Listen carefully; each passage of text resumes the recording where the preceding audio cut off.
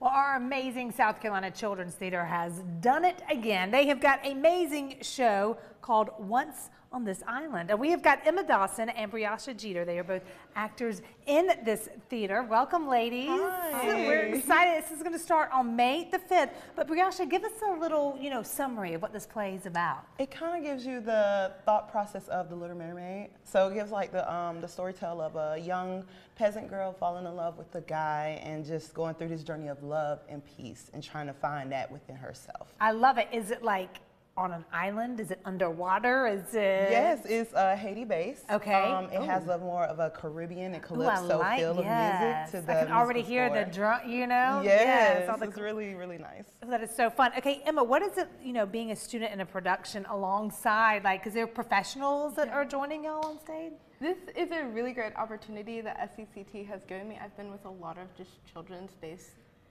shows and now I'm getting to learn the professional side of it and I think it's a great opportunity so I can see if I'd love to pursue this when I'm an adult. Because what have you noticed different, like when you go in and you see like the professionals, are you like, okay, this is how they prepare for something? I mean, it kind of has the same thing from when you're a child to this. It doesn't have that much of a difference. It's just you get to work with these people who like really care and they're like doing this for their passion. Yeah. And it's amazing to see that. And still the work that goes into it and, and getting involved in the character. I mean, just by looking at the pictures, you can already probably hear a little soundtrack in your head. But tell me about kind of the music. So it's a Caribbean-based type of um, show with musical prompts and the actual scores of Broadway. So it gives more drums, uh, more of a voodoo feel, and it's really energetic throughout the whole piece of the production. Oh, I love it. Seeing a little behind the scenes rehearsal.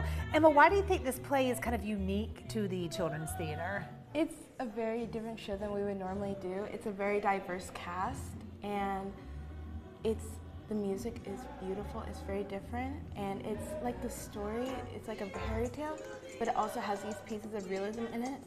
So it has some sad moments, but we always leave off on a happy. Oh, I love that. That's what a fairy tale is supposed to be, right? Like, give me my feels, but then get me happy again. Yes. you want to do it. Now, Brasha, who do you play? What character? I'm Erzulie, goddess of love. There are four of us. So there's Agwe, Papa Ge, Asaka, and Erzulie, and we just like lead Miss Two Moon through her whole journey and try to lead her in the right direction. I love this. Emma, do you think, you know, children are going to enjoy it as much as the parents? Of course, it's like you love music, you love dancing. It's a musical. It's very interactive with our audience. We make sure we never lose them for a second. It's for all ages. I love it. All And- ages. And y'all are right. Whenever there's a production at the children's, you don't feel like everybody, shh, shh, shh, be quiet, listen.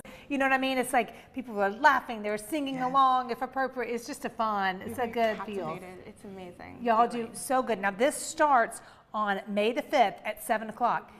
Get your tickets now because there's already one, one show, May 6th, is sold out the 7 Yes, o'clock. So yes. And that's going to be a trend. You're going to see it. It's running May 5th through the 21st at the gorgeous South Carolina Children's Theater. I mean, right down the street from us. The facility's amazing. Y'all are going to crush it. One more week of rehearsals and then go time. Yes, ma'am. All right, guys.